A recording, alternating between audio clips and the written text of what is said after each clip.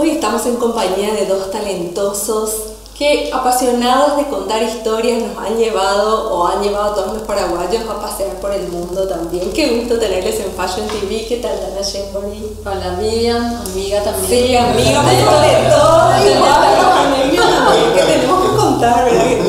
Hay una amistad de muchos muchos años, muchas anécdotas, muchas, muchas anécdotas lindas y bueno, estando acá hoy para mí ver el crecimiento, ustedes ya lo que han llegado y nos conocemos desde que éramos apenas soñadores, ¿no? Y ver esto que está pasando con Tana Shembori y a dónde han llevado el cine nacional realmente me llena de orgullo. Bueno, pero mucha gente no sabe cuándo se juntaron ustedes, cómo empezó este dúo, cómo se fusionó. Carlos González Grupo Patatila se va a eh, a buscar a algunos chicos para ser pasantes en la, miniserie.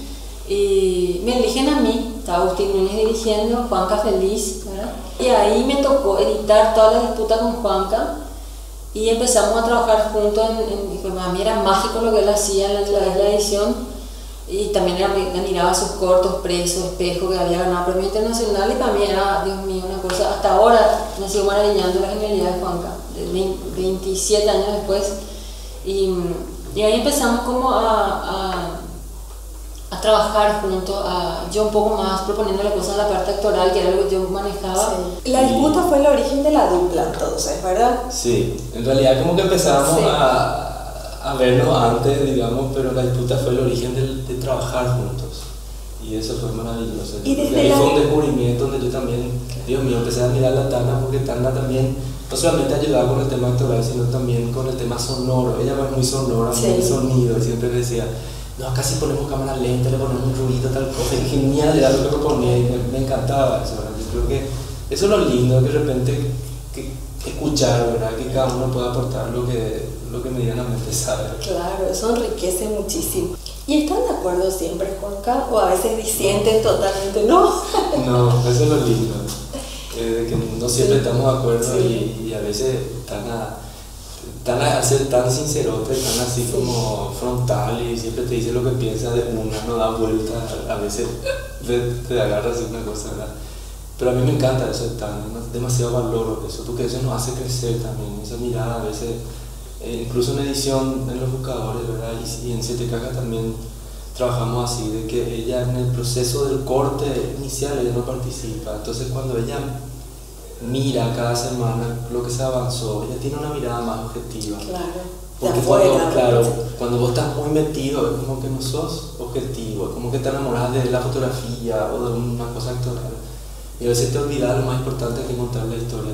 El cine es comunitario. Yo también, yo no creo que nadie es más importante que el otro. Yo creo que nosotros somos como cabeza, pero demasiado dependemos de tanta gente y es como que eh, si al cine le quitas lo actoral, también muere, digamos. O sea, yo creo que eh, eso es lo lindo y a mí me encanta asumir así un proyecto, ¿verdad? Que todos aportamos cosas y eso hace que, que, que al menos tenga cuerpo y, y, sea interesante.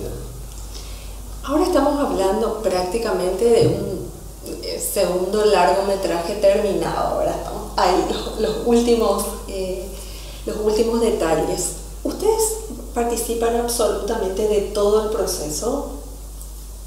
Sí. ¿Ustedes dos juntos? Sí, somos absolutamente de el todo. casting, locaciones. Todo. Eh, somos poco personas. ¿Sí? Todo, todo. La película está planeada y discutida de punta a punta. Sabemos, o sea, es una cosa increíble. decía, qué difícil habrá sido tomar la determinación de decir, este es el proyecto indicado, ¿no? Totalmente. Después de un éxito tan arrollador como Y nos 20 veces tan hacemos realmente este el proyecto. Nosotros teníamos otros guiones, sí, teníamos uno que trabajamos 10 años que se llama La Santa.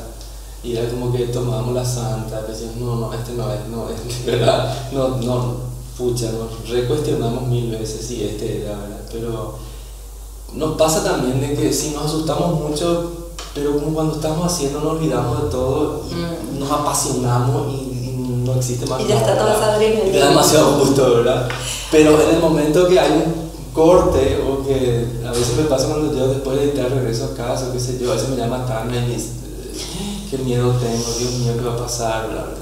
Es complicado, es complicado, pero cuando estamos trabajando es como que nos olvidamos de todo y es genial. Qué gusto, y se siente, se mm. siente toda esa pasión que ustedes transmiten. Bueno, yo imagino que la audiencia ya está ansiosa de saber más de los buscadores, así que en el segundo segmento les contamos todo lo que podemos.